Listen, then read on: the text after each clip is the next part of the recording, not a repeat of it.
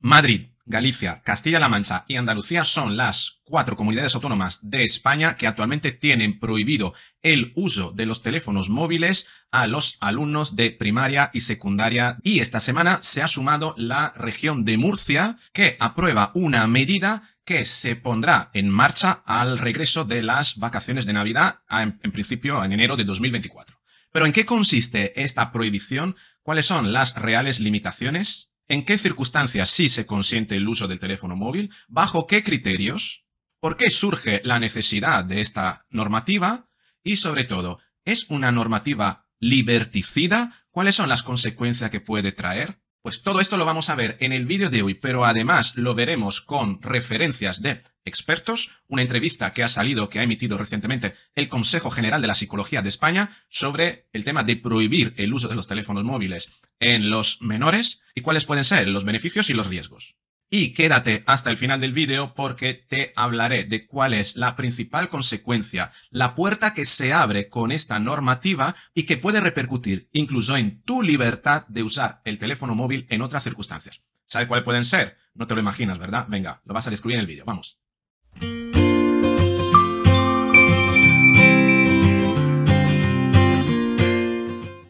Sí, señor, esta es la noticia, la estás viendo aquí en, eh, en, la pantalla. La región de Murcia prohibirá el uso de los teléfonos móviles en colegios e institutos. El jefe del Ejecutivo Regional ha adelantado que la medida se abordará en el próximo Consejo de Gobierno de este jueves, el jueves que acaba de pasar, de ocurrir, y es más, si, si leemos más abajo, Andalucía impone a todas sus escuelas un reglamento interno que permite retirar y confiscar el móvil al alumno. Vamos a hablar por partes. Primero, Andalucía, gobierno del Partido Popular, región de Murcia, gobierno del Partido Popular, gobiernos supuestamente más liberales, por ser de derecha, y normativas tremendamente liberticidas según cómo se vean. Desde luego, lo de Andalucía de permitir incluso que se confisque el teléfono móvil, roza incluso con la inconstitucionalidad. ¿Por qué? Porque no se le puede privar a un alumno de una propiedad, además una propiedad de valor, y es más, una propiedad que tiene datos personales. Puede tener tarjetas de crédito, puede tener otro tipo de datos internos, y es más, puede ser una herramienta de localización para los padres una vez que el niño o la niña sale del colegio para ir a, recoger, a recogerle en un determinado punto de la ciudad o, del, o poder coincidir y quedar en un determinado momento. Por tanto, desprotege al alumno frente a la ley de protección de datos, frente a la confiscación de una pertenencia propia y frente a la posibilidad de que en una vida, en un mundo como es el actual, el niño necesita el teléfono móvil precisamente para ser localizable o localizar a sus padres una vez finalizado el horario de colegio. Y además supongamos que el adolescente en cuestión, para llegar al centro escolar o marcharse del centro escolar, necesita el teléfono móvil para desbloquear un patinete, una bicicleta, un ciclomotor de estos de movilidad que en una ciudad. ¿Sería legítimo que el centro escolar le confiscara el teléfono móvil con el que necesita organizar su propia vida una vez que salga del centro? hasta qué punto esta medida está atentando a la propiedad privada y está limitando la libertad de las personas, condicionando incluso su seguridad una vez que abandonen el centro. Pero al respecto yo te contaré al final cuál es mi punto de vista. Pero vamos a ver a la vamos a analizar primero la normativa de la región de Murcia, que es una normativa muy sencilla. Y es más el ruido que, que provoca que la, digamos, la consistencia de la normativa. La normativa prohíbe el uso, no el teléfono móvil. Es decir, los alumnos podrán acudir al centro con su propio teléfono móvil, pero el teléfono móvil deberá estar en todo momento en modo avión o apagado. Ni siquiera se les permite el uso del teléfono móvil en el recreo, precisamente para evitar una serie de circunstancias que se pueden dar y pueden alterar la convivencia dentro del colegio o dentro del instituto. Desde este punto de vista, bueno, no deja de ser una forma de regular el, el uso internamente de un aparato que es altamente disruptivo. Y en este sentido, desde mi punto de vista como psicólogo, puede considerarse incluso una forma de educar a los, eh, a los jóvenes a que en determinados momentos, en determinados lugares, el teléfono móvil debe de estar apagado y, la persona debe de centrarse y poner el foco en otras cuestiones que son prioritarias. Hasta me parece educativo en ese sentido. No lo sería en la eventualidad de que se prohibiese la entrada al colegio del teléfono mismo, del aparato en sí. ¿Por qué? Porque el aparato en sí puede ser utilizado por parte del alumno en un determinado momento para ser localizable y localizar a los padres. Cada vez más tenemos familias monoparentales. Padres divorciados, los padres, en mi caso, por ejemplo, yo dejo los niños el viernes en, a primera hora en el colegio y el viernes por la mañana, al final del horario lectivo, lo recoge su madre. Es posible que en determinado momento uno se atrasa, tienen que quedar en un determinado lugar para ser localizables, dificultades de aparcar, entonces se tengan que, eh, llamar. A veces incluso el determinados imprevistos en la vida ajetreada que todo el mundo lleva a día de hoy pueden llevar que a través de un mensaje se puedan poner de acuerdo, puede haber un intercambio de información importante para la misma seguridad del niño. Por tanto, en ese sentido, la normativa de la Comunidad Autónoma de la región de Murcia no es tan liberticida, aunque no aclara, veremos en qué, quedará la cosa, si el teléfono móvil, en caso de ser utilizado por parte del alumno, será confiscado dentro del horario lectivo y esa supuesta confiscación en qué va a consistir, en qué momento se le va a devolver el teléfono al alumno. Primero, el teléfono es una propiedad, una propiedad de valor del alumno. Por tanto, no se le puede arrancar con la fuerza. ¿Qué va a hacer un docente si ve un alumno que está utilizando el móvil? Se lo va a arrancar con la fuerza, entonces sería una agresión. Puede que lo mande al despacho del director, puede que le abra un expediente. Bueno, vale, un expediente por el uso o porque no se lo entrega. Todo esto habría que aclararlo. Desde mi punto de vista, en ningún momento un alumno debe de sentirse en la condición forzada, sea cual fuere la razón que la haya llevado a eso, a que entregue su teléfono móvil a un docente. Segundo, ¿quién se hace cargo de ese teléfono móvil? ¿Dónde se guardan esos teléfonos móviles? ¿Quién va a ser el responsable subsidiario en el que en supuesto caso uno de esos teléfonos móviles desaparezca. Todas estas cuestiones ponen en un vacío legal al instituto y a la autoridad de los docentes que de hecho no tienen autoridad para eso. Por tanto, sí que en la eventualidad la medida de confiscar el teléfono móvil tal como lo pretende hacer Andalucía o lo está haciendo Andalucía es una medida liberticida. Y el gobierno de Andalucía se ampara en una normativa, en una autonomía pedagógica y organizativa del centro, pero no tiene nada que ver esto con la organización del centro. Esto de, eh, responde más bien a, por su seguridad, yo le limito la libertad. No. En ese sentido, yo aconsejaría recomendaría que en caso de disputa con respecto a este aspecto, el alumno o la familia del alumno se proteja y denuncie a cada centro que imponga este tipo de normativa y que trate de confiscar una propiedad a un alumno. En concreto, la medida de Andalucía impone que el teléfono móvil sea retirado después por parte de los tutores del alumno, es decir, los padres o la persona que ejerce esa responsabilidad. Es decir, que se priva al alumno del teléfono móvil una vez que abandone el centro, lo cual es absolutamente ilegal que esto ocurra. Porque el centro escolar puede ser responsable de la organización del centro y del alumno mientras el alumno esté dentro, pero mientras el alumno esté fuera cuando abandone el centro, debe de abandonarlo con todas las garantías con las que también entró. Y eso sí, que eh, desde mi punto de vista es una medida tremendamente liberticida, repito. Y volviendo a la región de Murcia, otro argumento que se ha esgrimido para poner en marcha este, este reglamento es que se está tratando de homogeneizar esta medida, puesto que hasta el momento cada instituto y cada centro escolar tenía un reglamento propio y había mucha disparidad entre centros que permitían y centros que no lo permitían. Incluso algunos centros siendo más restrictivos respecto a las normativas que pretende eh, lanzar el gobierno de la Comunidad Autónoma de la Región de Murcia.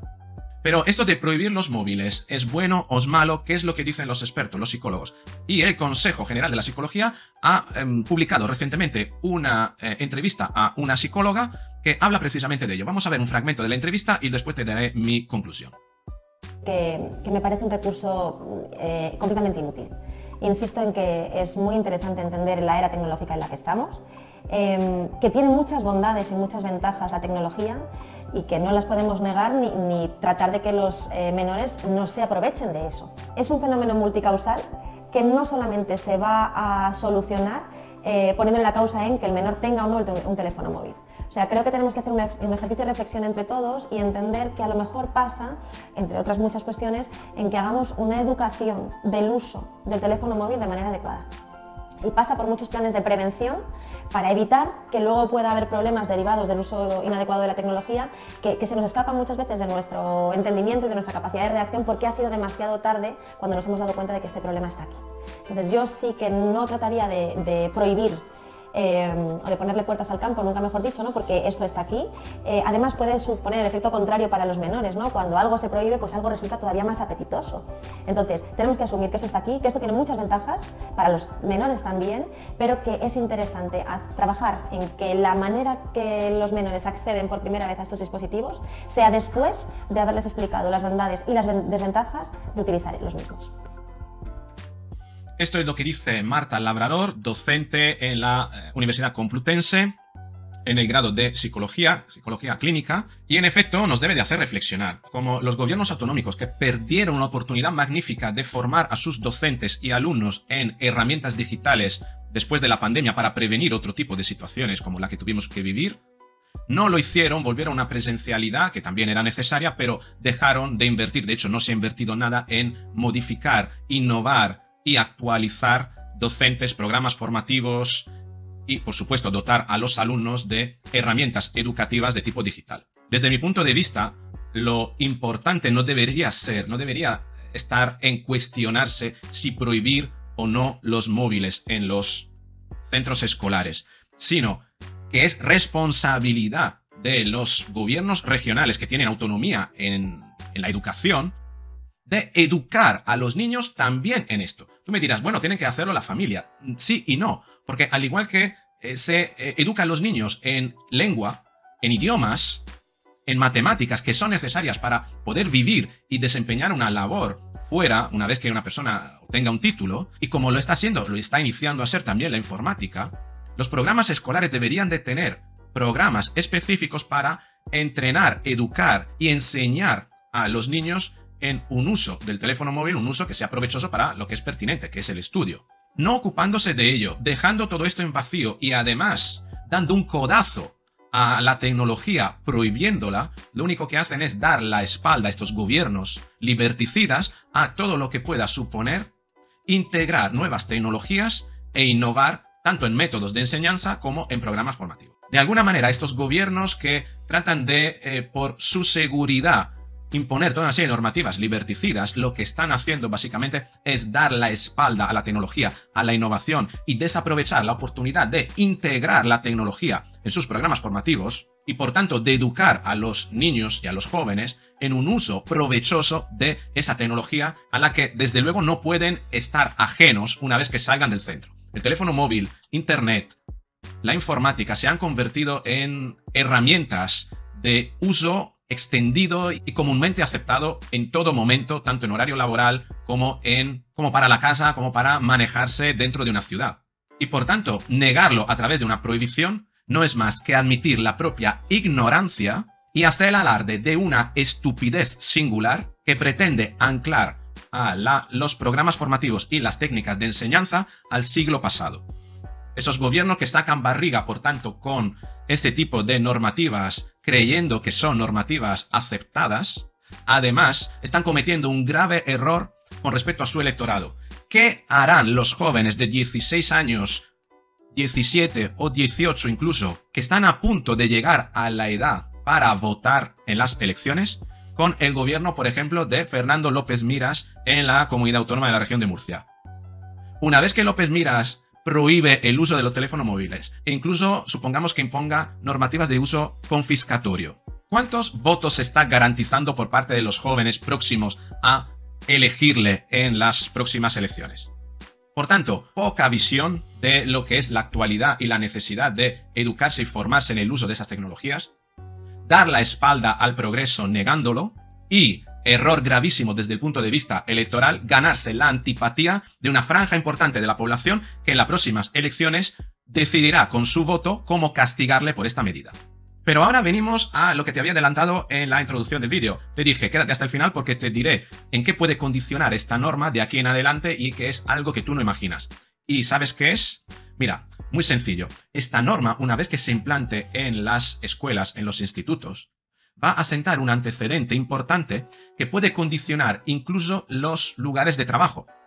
Es decir, si de alguna manera se impone la prohibición del uso del teléfono móvil en los institutos, ¿por qué entonces no hacerlo también en los lugares y centros de trabajo? Porque un profesor a lo mejor puede estar pendiente de un teléfono móvil, o un enfermero, o una enfermera, o un funcionario, o un trabajador de una empresa privada. Lo lógico y lo suyo que una vez que normalicemos la prohibición del uso del teléfono móvil en las clases, esa prohibición, se sienten las bases y los antecedentes para que esa prohibición se extienda también en otros ámbitos, como es el ámbito laboral, primero el público y después el privado, o ambos a la vez. Desde luego, el público va a ser el siguiente si, si se confirma la prohibición en los centros escolares. Pero bueno, aquí llegamos a las conclusiones del vídeo y me gustaría saber qué es lo que opinas tú, cuál es tu punto de vista. ¿Estás a favor de la prohibición del uso de los teléfonos móviles? Sí, no. ¿Estás a favor de la medida confiscatoria en el caso de que a un niño se le pille con un teléfono y que el centro y el docente estén autorizados a confiscárselo, incluso no entregárselo una vez que el niño abandone el centro escolar?